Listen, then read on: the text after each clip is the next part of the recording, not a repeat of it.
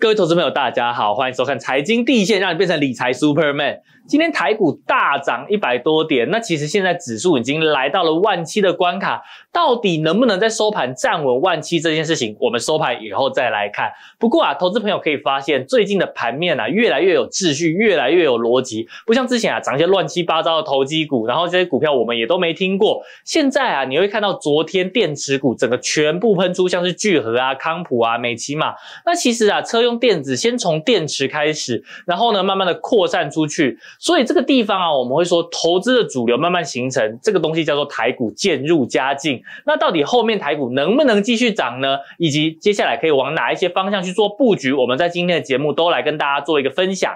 首先，昨天我们看到一个新闻，叫做散户的信心不减，九月份的证券划拨存款余额继续创新高。那这个东西其实呢，它就是我们整个中央银行每个月都会去做统计的一个数据。那这个数据啊，它就表现出了目前台湾的投资人到底是什么样的心态，到底是什么样的情绪。那因为呢，其实大家要去买股票都会有一个交割户嘛。那这些交割户里面的钱，其实央行都会把它统计起来啊。那到底有多少钱是放在交割户里面的呢？那其实作为这个指标，已经连续十一个月创新高，其实代表的就是投资人啊，还是很想要买股票。因为如果你不想买股票的话，你为什么要把钱放在交割户里面，对不对？那但是呢，另一方面我们看到的是整个散户的成交占比在下滑，融资余额也在下滑，这个是央行讲的。那最主要的原因就是因为前阵子台股其实不断的在做修正，然后上下大幅震荡，洗到很多投资朋友很没有信心，所以在这个地方啊，他们就慢慢觉得啊，先先观望一下，先不要玩好了。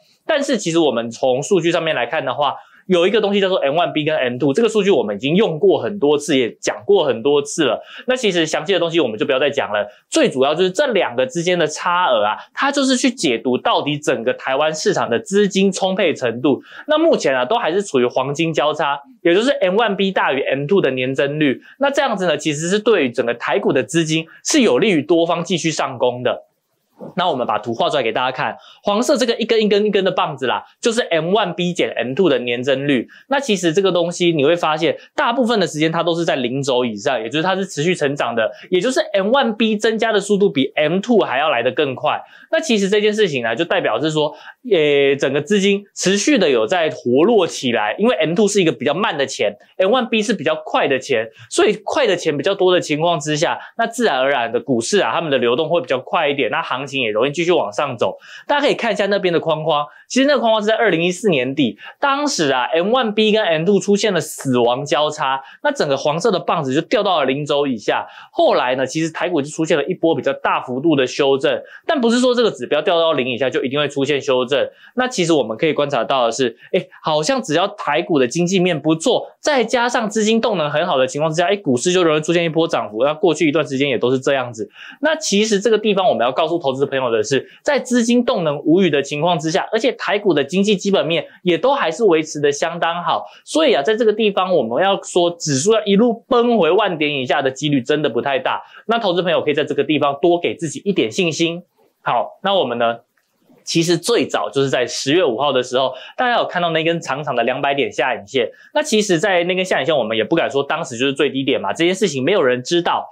但是呢，在过了两天以后，也就是十月七号，哎，一根大红棒往上涨。那那个时候啊，我就说了，哎，后续行情可期。那我呢，请投资朋友要把握换股的好时机，因为当时啊，起涨往上拉的时候是由台积电全指股啊，但是其实有很多的中小型股票根本就还没有动。那如果过去一段时间你有一些比较套牢比较深的股票，你可以趁现在赶快换到一些哎也跟着下跌，但它是比较有机会的股票身上，以跌换跌。那等到后面的行情涨起来的时候，你才有机会参与到。我当时是这样子讲的。那十月七号，大家可以看一下台股的日 K，就是在整个台股出现了波段低点以后，往上两天以后，我说后续行情可期。结果什么？指数连跌三天，有个不给面子的。但是你看哦，它虽然跌完了以后，哎，但是就持续的一路往上走，一路往上走。这段期间，我们就看到类股开始轮动。那呢，它不是只涨单一的一个产业，而是慢慢的一个产业一个产业一个产业轮流来。那很多股票可能先涨一天，涨两天，以后就先休息，但它没有跌哦。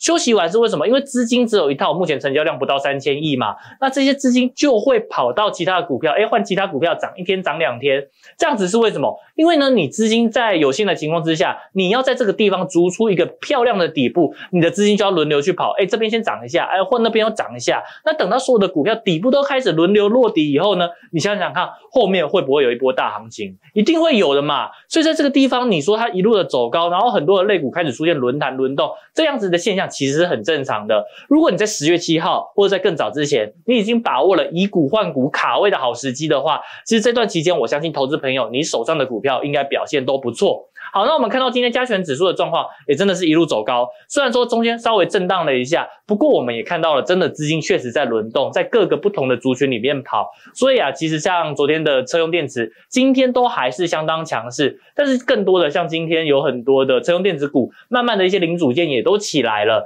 所以我们可以看到这个地方，我要再次强调，这一个新台币的指标，大家也要观察。你不能只看股市啦，你也不能只看股价啦，有很多的经济指标你要同步的拿进来看。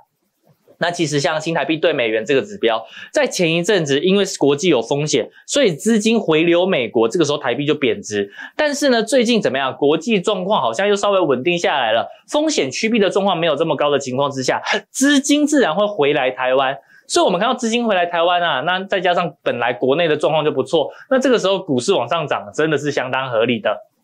那在昨天，我有上东森财经，每一次上东森财经，主持人阿关都会问很多问题。那每一次几乎必问的就是关于航运股。那其实啊，我们看到他就昨天问说，哎，各位怎么看航运股？请举牌，认为会续涨的给圈，认为不会续涨的给叉。结果呢，怎么样？五票圈，一票差。那刚刚好又是小弟本人，我特别的不合群。那其实我们在这个地方就是给投资朋友一个比较我们认为的观点啦。那也不是说它一定对一定错，而是我们认为了它的营运高峰已经过了。那目前第四季。台股有很多的电子股将会成为主流，所以我在这个地方提醒投资朋友，那手上呢有这些景气循环股的，你还是要把握时机，赶快去做换股的动作，然后去把握这些行情，在未来一段时间可能会喷出，才不会就是到时候人家的股票已经喷出了，结果自己手上的股票好像都没动，这样子真的是不太好。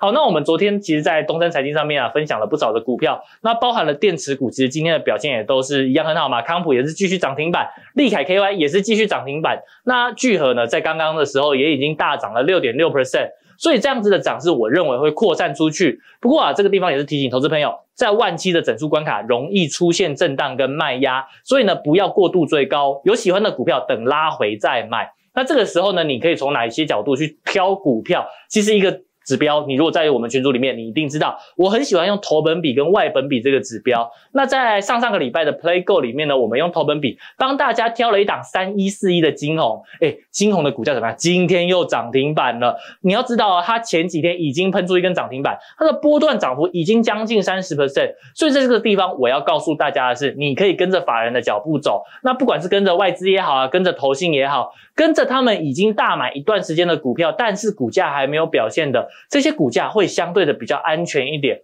那我认为啊，其实，在明年第一季经济数据落底以后，那这样子的情况之下，今年的第四季可能就是一个非常好的布局时间点。投资朋友真的不要太过于没有信心。那行情会在这边上下震荡、反复测试。那只要呢有反复测试，有一些好股票的价值浮现出来，都是投资朋友可以去做留意的。那如果你想要知道更多的股票啊、更多的财经知识、更多的产业分析，都欢迎加入我们群组，或在下面留言告诉我你想要知道什么。谢谢大家收看今天的财经第一线，我们明天再见，拜拜。